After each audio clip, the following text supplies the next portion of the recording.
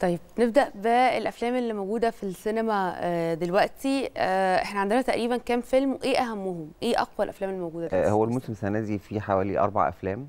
وهم بمقام أفلام كتير الصراحة. يعني طبعا كان في أفلام موجودة قبل كده ومكملة ولكن الموسم الأساسي بيعتمد على أربع أفلام. فيلم بيت الروبي والبعبع وتاج ومستر إكس أحمد فهمي. آه، البيت الروبي آه، كريم عبد العزيز وكريم محمود عبد العزيز. مظبوط. مستر إكس أحمد فهمي أحمد البعبع فهمي هنا الزاهد البعبع أمير كرارة وياسمين صبري. وتاج طبعا آه، تامر حسني. تامر حسني. طيب خلينا نروح لبيت الروبي. شايفه بينتمي لأي نوعية من يعني الأفلام؟ هو كوميدي أعتقد كوميدي صريح. يعني بنتكلم على محمود كريم محمود عبد العزيز وكريم عبد العزيز. لكن شايف من وجهة نظرك فكرة طرح الشركة المنتجة لهذا الفيلم قبل العيد بأسبوع تحديدا. السبب فيه إيه؟ هل الإيرادات فقط؟ هو يعني المشهد العام كوميدي كله سواء تاج أو حتى البعبع ومستر إكس وبيت وبيت الروبي بس هي الفكرة إن هم كانوا حابين يسبقوا شوية. هي خطة إنتاجية مش أكتر يعني توزيع الأفلام وإن هو إزاي يقدر يحصد آه، إيرادات أكبر. آه. فطرح الفيلم قبل ال- العيد إدى مساحة أكبر للجمهور إن هو يتعرف على الفيلم ويتابع ال reviews بتاعته عاملة إزاي. فبالتالي لما ينزل في الدور الع... يعني لما يحصل يبقى فيه أجازة فالناس تقدر تنزل في العيد تبقى عارفة هي محددة آه، هدفها هتشوف آه، فيلم إيه. مش هنجرب هيبقى في فيدباك واخدينه آه، من الناس آه. بعضها آه، البعض هي يعني التداول تسويقية آه. آه، بحتة يعني ونجحت الحمد لله إن الفيلم حقق حوالي 20 مليون جنيه قبل دخوله آه، موسم العيد. فبالتالي الإيرادات في, في, في زيادة مستمرة يعني. طيب آه البعبع. آه البعبع المفروض إن هو خط يعني ال ال القصة بتدور في يوم واحد. وزي ما كنا بنتكلم أمير كرارة و وياسمين آه، صبري. وياسمين صبري. آه ديو جديد وأمير كرارة بقاله فترة مش مش متواجد في آه السينما. بتقيم العمل ده إزاي؟ وشايف إيه العوامل اللي فيه المختلفة؟ إن كان بالنسبة لأمير أو ياسمين صبري. هو أمير يعني لأول مرة بيقدم كوميدي في, السينما وده حاجة تحسب له يعني إن هو عنده استعداد يخاطر ويجرب ويغامر ب ب في, دخول مجالات هي مش مش مجالات مش مجالاته أو ما تعودش عليها. ولكن هو برضه عامل توليفة ما بين ال- الكوميدي والأكشن. يعني بنشوف برضه أمير بيضرب وبي أكيد. يعني في تفاصيل كتير كده في ال- في خلاص الفيلم. بقى باشا مصر اتعودنا على كده. آه يعني بس الحقيقة هو عامل ديو حلو. هو وياسمين صبري. ياسمين صبري طالعة بشخصية تلقائية و... ومعتمدة على تلقائيتها في الكلام وفي في التفاجؤ بأحداث ال... ال... الفيلم. فده هما الاثنين على الشاشة عاملين آه، رواج حلو جدا. كمان الفنانة انعام سالوسه رغم إن هي بتظهر يعني مشهدين أو ثلاثة بالكتير قوي ولكن هي عاملة إضافة شديدة جدا لل... طبعاً. للفيلم. هي وجودها لوحده على الشاشة كده مش جديدة إضافة. عليها. يعني في أفلام كانت بتظهر فيها المشهدين بالكتير جدا ولسه حافظين اللاينز والإفيهات بتاعتها كمان. صحيح. هو كمان آه، أمير تعاون مع آه، أستاذ حسين المنباوي في في رمضان. فهم في ما بينهم تفاهم كبير جدا على مستوى ال- الإخراج. فالموضوع طالع لطيف جدا والفيلم يعني فيلم عائلي ممكن كل الأسرة تتفرج عليه وتتابع أحداثه. وهو فيه twistات كتير يعني مش عايز أحرق الفيلم ولكن الفيلم يعني أنصح بمشاهدته يعني. طيب شايف إزاي فيلم تاج؟ لأن ده يمكن مش هو الفيلم الأول في شخصية أو في فكرة ال super hero اللي بيبقى موجود في السينما. ويمكن هو دور أعتقد جديد شوية على تامر حسني. شايفه إزاي؟ الحقيقة لسه ما اتفرجتش عليه لأن هو نزل آه، ام- امبارح بس. فبس واضح جدا من آه، ال trailer إن في فكرة مختلفة وإن تامر طبعا تامر ليه جمهور عريض جدا في مصر والوطن العربي. وتامر برضو بيدور دايما على الأفكار المختلفة. صحيح. آه، هو بيتعاون مع دينا الشربيني في ال- دايما بيرب- بيربطها بالكوميديا اللي الناس بتقبلها من تامر حسني. آه هو هو تامر يعني بطبيعته شخص دمه خفيف. هو برج الأسد دايما يعني دمهم خفيف وكاريزماتيك. وتامر بيحقق إيرادات كبيرة جدا في في دور العرض في السينما. آه، آه، الفكر فكرة ال super hero هي فكرة آه، يعني قماشتها واسعة. آه، فده ذكاء إن أنت بتختار فكرة آه، قماشتها واسعة فتقدر يبقى فيها آه، كوميديا كتير جدا وتقدر تبقى آه، بتروح في أكتر من مكان والموضوع يبقى آه، يعني لطيف ودمه خفيف. هو تعاون مع ساندرا وفيق في في الفيلم ومن الواضح زي ما قلت لحضرتك من ال trailer إن هو في كوميديا لطيفة ودمها خفيف. آه، شبابية برضو تامر جمهوره من جمهور آه، ال- الأسر أو العائلات فبرضو صحيح. إن شاء الله يبقى الفيلم حقق نجاح يعني. الله. مستر إكس بقى. آه، مستر إكس آه، أنا اتفرجت عليه صراحة هو يعني مستر إكس وبيت الروبي والبعبع اتفرجت على الثلاثه مستر إكس آه، آه، فكرة خارج الصندوق زي ما بنقول ويمكن ده اللي عودنا عليه أحمد فهمي سواء بتعامله مع شيكو وهشام أو حتى في الأعمال اللي هو بيشارك فيها لوحده. آه، الفكرة لطيفة جدا وبرضه نقدر نقول الفيلم مش عائلي قوي يعني في بعض الإفيهات اللي ممكن تو- آه، الاطفال ما يفهموهاش. ولكن يعني هو تصنيفه plus 12 بس أعتقد هو كان محتاج يبقى آه، أكتر من أكبر من كده. من 12 آه مهم. آه، لكن الفيلم طول الوقت فيه مفاجآت كتير جدا في أكتر من 20 آه، ضيف شرف برضه مش عايز أحرق الأحداث لأن المخرج أحمد عبد الوهاب يعني موصينا. آه، لكن الحقيقة كل ضيف شرف بمفاجأة جامدة جدا في الفيلم و- وكل واحد محطوط في مكانه. مين أهم ضيوف الشرف طب اللي موجودين؟ آه، عمرو يوسف آه، إلهام شاهين بس يعني لو قلت مش- مفاجآت ما إحنا عايزين برضه نشوق الناس عليك يعني. أكتر من كده.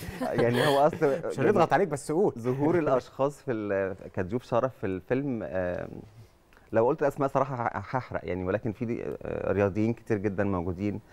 آه، وحتى كانوا موجودين في العرض الخاص بتاع ال- الفيلم آه، ولكن برضو يعني بنصح جدا بمشاهدة مستر إكس هو واحد من أهم الأعمال يعني المعروفة. حتى الآن الأربع أفلام بتنصح بمشاهدتهم ودي حاجة دي حاجة هايلة عامة آه لأن هم كمان هم زي ما قلت هم يعني بيخاطبوا الأسر بشكل كبير يمكن بس مستر إكس هو اللي محتاج سن أعلى شوية من سن الأطفال ولكن في آه، مجموعة كبيرة جدا من الناس ممكن تنبسط بيه قوي يعني وت- وتضحك معاهم يعني.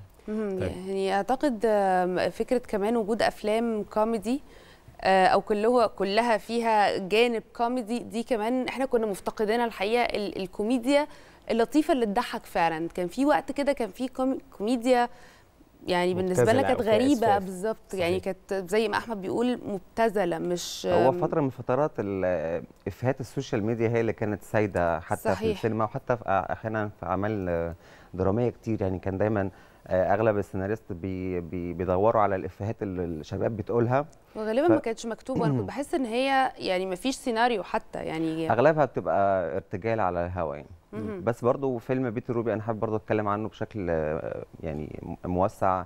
ديو كريم عبد العزيز وكريم محمود عبد العزيز الاثنين حقيقي آه، رائعين جدا وكل واحد ليه character. أصلا كوميديان بطبعه. يعني سواء كان كريم عبد العزيز مجرد بس اسم زي اسم كريم عبد العزيز على أي فيلم خلاص إحنا عارفين إن إحنا داخلين نتفرج على كوميديا وكوميديا عائلية زي ما بيتقال. آه، هو دايما كريم كان بيعتمد على ال light comedy اللي هو فكره ال- يعني هو مش كوميديان بالشكل المتعارف عليه ولكن آه، ال light comedy اللي هو بقى في مواقف معينة بيظهر كوميديا منه- الموقف يعني حتة آه في وده موقف. طبعا وجود كريم محمود عبد العزيز مساعد بشكل كبير أعتقد آه، كمان- فيه خصوصا إن هو أغلب المشاهد هم الاثنين مع بعض. صحيح. وكريم محمود عبد العزيز أنا شايف في حالة نضج من موسمين أو ثلاثة يعني إحنا شايفين شخصية كريم محمود عبد العزيز فكرتنا بوالده. عارف أنت في ثقل كده أصبح عنده كاريزما وعنده character خاصة بيه هو. دي حقيقة طبعا. هو هو يعني دايما أبناء النجوم بي- بيتظلموا بشكل كبير.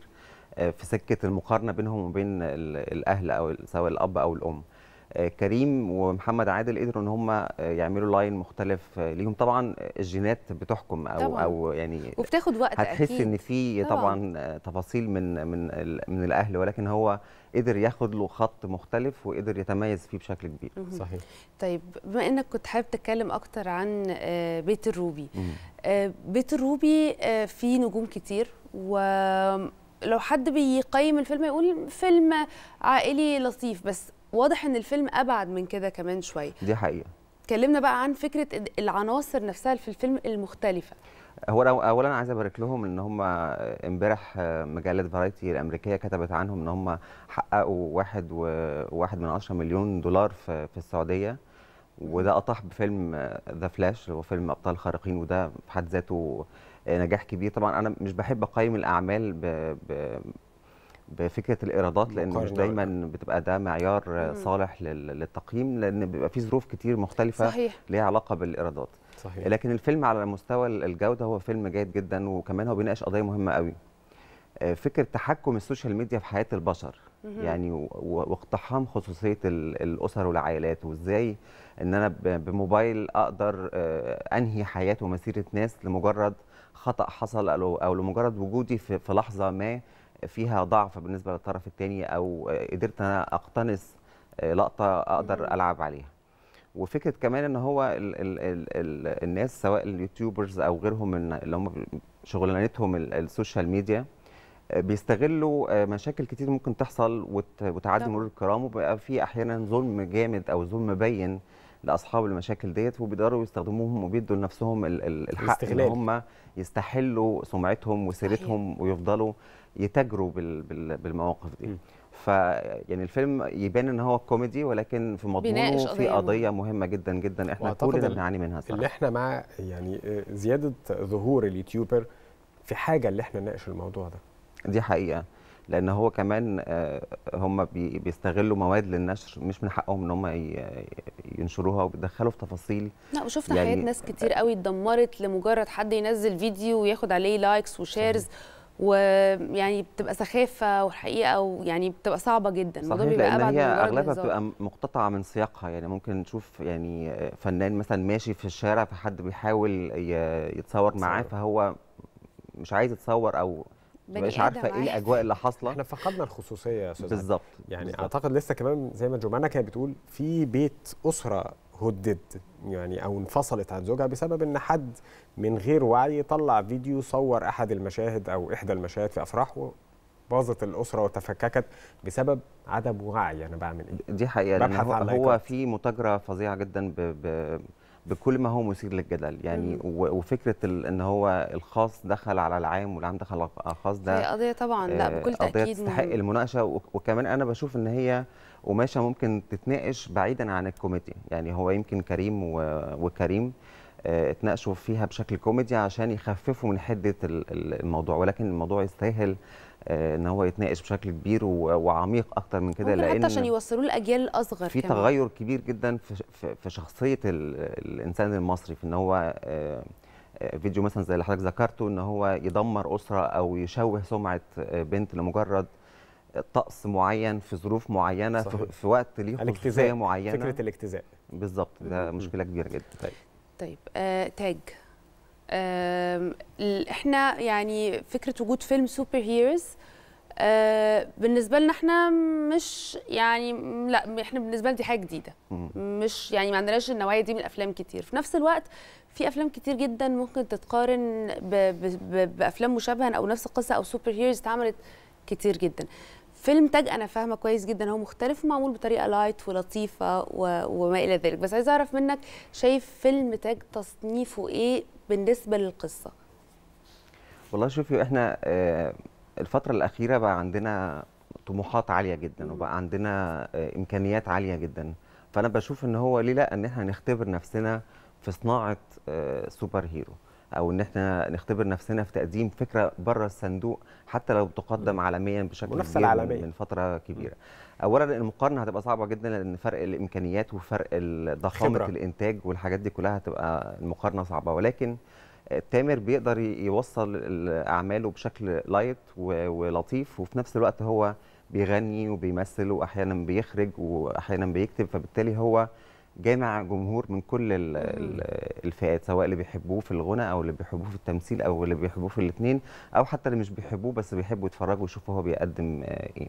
فأنا مع إن إحنا نفتح ال- ال- الأفاق أكتر وإن إحنا نشوف أفكار إحنا ما قدمناهاش بشكل كبير ونقدمها لأن ده في الآخر في صالح الصناعة وفي صالح الأفكار يعني إحنا من. فترة طويلة جدا كنا كل الأعمال أغلبها أفكار نمطية أو منطقية أكتر. ولكن أنت المخرج أو أو صانع الفيلم بيتفق معاكي على عقد اتفاق قبل ما بتشاهدي الفيلم إن الفيلم أحداثه مثلا مش منطقية فخلاص سيبي لنفسك الخيال وانطلقي بقى معاه عيشي معاه الساعتين اللي انت هتخشيهم في السينما. اتفرجي على العمل كأن انت جوه العمل بعيدا صحيح. عن آه، منطقية الأحداث. وكمان تامر يعني إحنا شايفين بقاله أكتر من موسم بينافس على إيرادات السينما مش بس المصرية لأ كمان العربية وأصبح ليه آه، يعني دور في آه، يعني شباك التذاكر العربي تحديدا. شايف برضو وجود تامر حسني في دور السينما خارج مصر ده إضافة ليه إزاي؟ هي إضافة كبيرة طبعا للصناعة لأن إحنا كل ما قدر الفيلم يحقق إيرادات كتير كل ما قدر عمليه الانتاج تستمر وتكمل. ف أنا مع إن الاعمال تنشر في كل الدول العربية ويمكن إحنا يعني حاليا سوق ال- الخليج أو الدول العربية تحديدا السعودية سوق كبير جدا ومفتوح في شغف كبير جدا بالأعمال المصرية. وزي ما صحيح. قلنا بيت الروبي محقق أكتر من مليون آه، دولار آه، آه، في السعودية. قبل كده تامر حسني كان محقق إيرادات كبيرة جدا وضخمة في الخليج وحتى في الدول الأوروبية. فبالتالي كل ده في صالح الصناعة.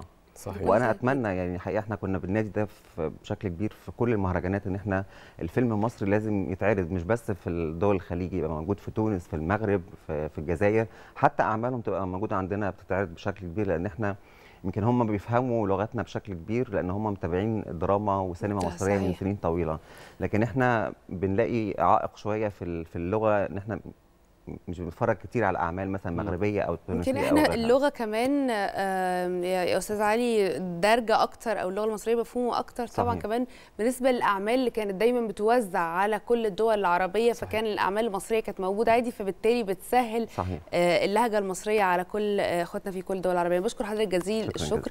علي القشوطي الناقد الفني رئيس قسم الفن باليوم السابع. كل سنة وأنت طيب نورتنا في صباح الخير يا مصر. طبعا